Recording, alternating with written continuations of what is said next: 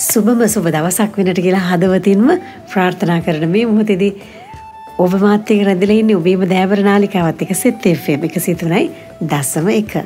අද ඔක්තෝබර් මාසේ 12 වෙනි සඳුදා. සුවිශේෂී දවසක් අපේ රටට.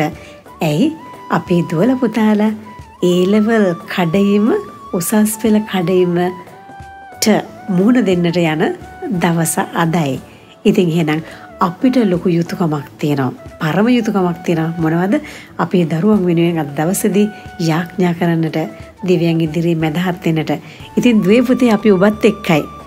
සෙත් FM නාලිකාව ඔබත් එක්කයි. අපි යාඥා කරන ඔබට හැමෝගේම ආශිර්වාදය අද දවසට අපි ඉල්ලලා දෙන ඔබ ඔබ සියලු දෙනාටම ඉතින් අපේ ශක්තියත් අරගෙන දෙවියන්ගේ ශක්තිය විශේෂයෙන් අරගෙන ඔබ බය නැතුව මේ අභියෝගයට මුහුණ දෙන්නට ඔබ යන්න.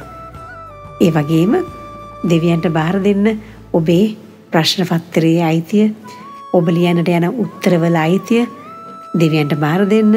ඒ වගේම ප්‍රශ්න පත්තරේ ලියන්නට ඉස්සෙල්ලා ඔබ දෙවියන්ට ඒක බාර දීලා කියන්න. ඔබ වහන්සේම මේ හැම ප්‍රශ්න පත්‍ර ප්‍රශ්නයක් තුළම ඔබ වහන්සේ ඒවා විනිවිද දැකලා අපිට උත්තර ලියන්නට පුළුවන් මානසිකත්වයක් දෙන්න.